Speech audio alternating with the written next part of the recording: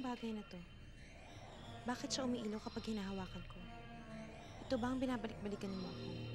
Ang susi sa kanya nakaraan?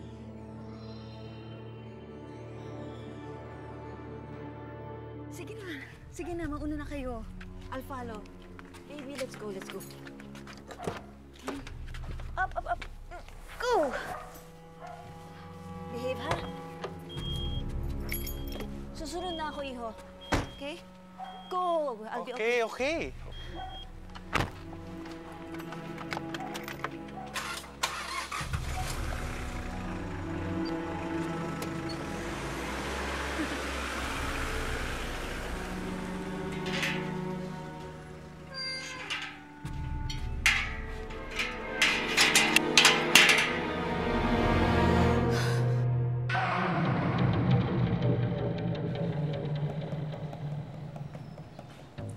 Anong ginagawa mo? Pasok sa loob. Pasok!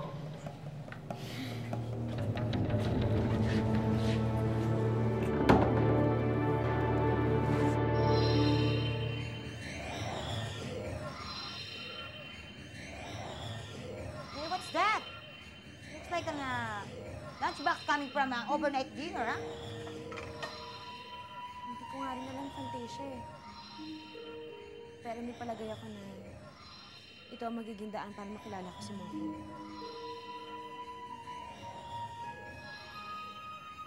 Paano ako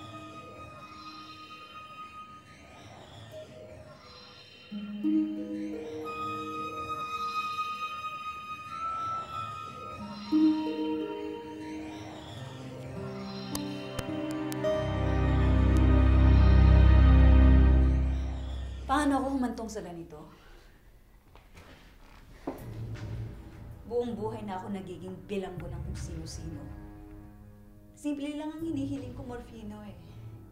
Isang tahimik na buhay kasama ng aking pamilya. Ngayon nahanap ko na ang aking kaligayahan kasama ng aking anak. Isa din akong bilanggo at biktima. Hindi na ako magiging biktima, Morfino. Pagkamatay ko ang magwawakas sa buhay ni Harimon, gagawin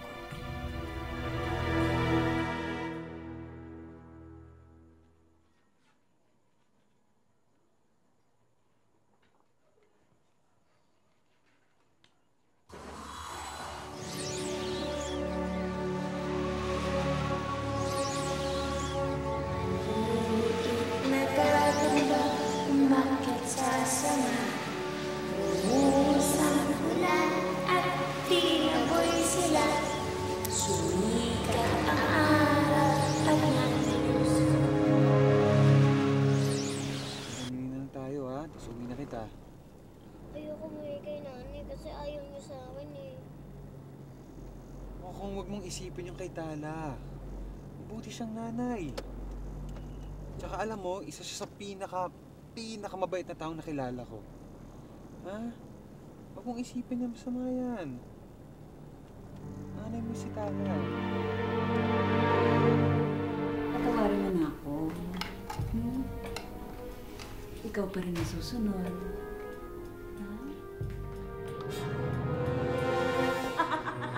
susunod. Zora, ibalik mo sa akin yan! Hindi! Akin na to! Sinabi lang ibalik mo sa akin yan eh! Hindi!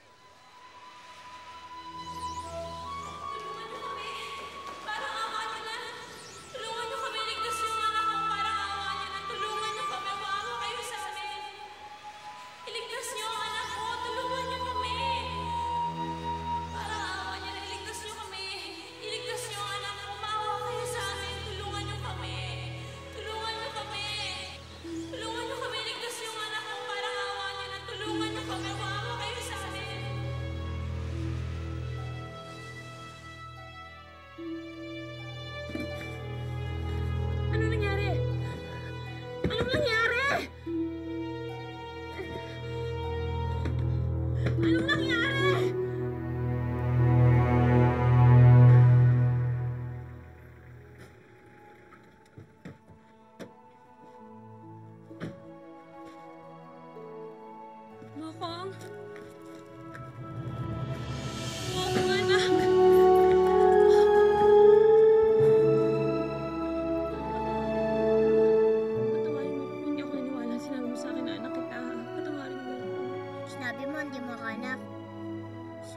At sinabi mo, ayaw mo sa akin.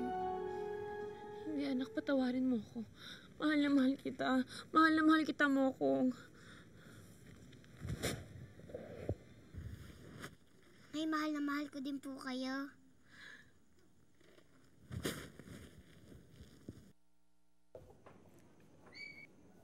Gino, maraming salamat talaga sa paghanap mo kay Mokong. Ah. Hindi ko alam kung paano kita papasalamatan. Wala yun. Alam mo naman lahat gagawin ko para sa'yo. eh. Ngayon, alam ko na kung paano mawala ng isang mahal mo. Mauna na ako, Tala. Babalik pa ako sa burol eh. O nga pala, pilitin mo naman si Tito Zora na pumunta sa burol ni Daddy. oh. Sasabihin ko sa kanya. Anak, patawarin mo si nanay, ha? Nay, naniniwala na po kayo na anak niyo po ako. Oo, Mokong. At habang nandito si nanay, walang pwedeng masamang mangyari sa'yo. Nay, wala na po ang bad na mahabol sa akin. Oo. At sisiguraduhin ko na walang pwedeng manakit sa'yo. Habang nandito si nanay, walang masamang mangyayari sa anak ko. Anak, hindi mo ba alam talaga kung sino gumawa nito sa'yo? Hindi ko po alam. Eh, hindi mo ba naalala kung paano ka nakarating dito, anak? Hindi ko po alam, Nay. Nay, wag po kayong magalit sa akin na wala akong maalala. Hindi, anak. Hindi ako nagagalit sa'yo. Natutuwa nga ako na magkasama na tayo ngayon eh. Pero kailangan nating mag-ingat. Mukhang makinig ka sa akin mabuti ha. Habang hindi natin nalalaman kung sino ang mga humahabol sa'yo, kailangan mo mag-ingat, anak. Kailangan mo munang itago ang kapangyarihan mo. Naiintindihan mo? Opo, Nay.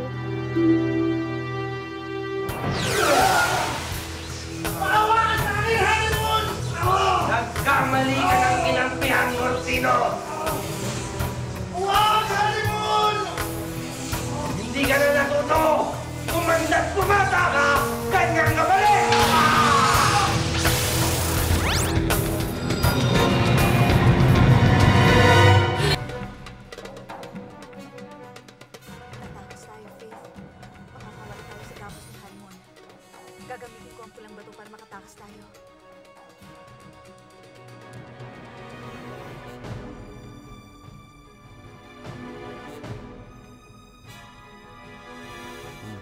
Matatakasan, Zora. Makukuha ko ang batang yan. At babawiin ko ang pulang bato. Kahit si Kristala, hindi ako mapipigilan.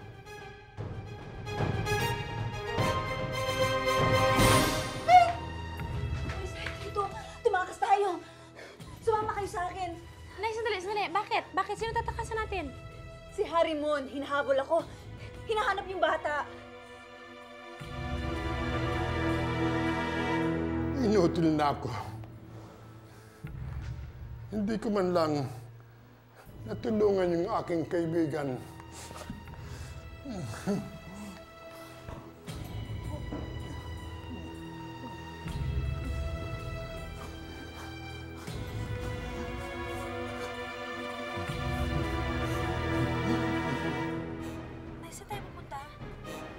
May alam akong lugar na matataguan.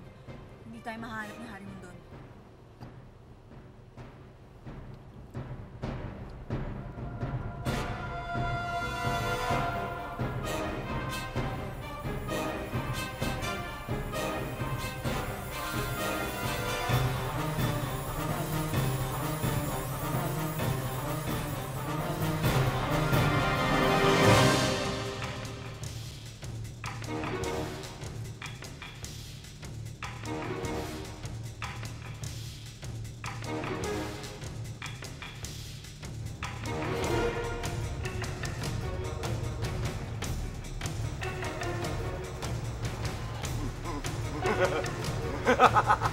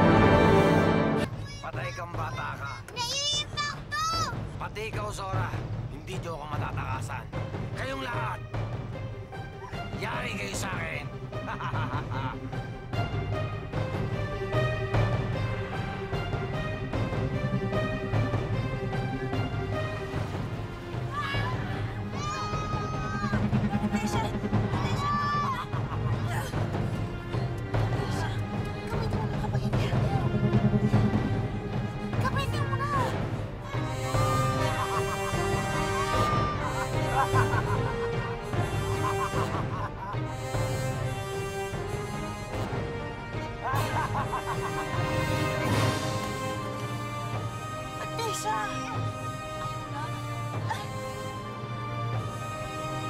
kayong pupuntahan.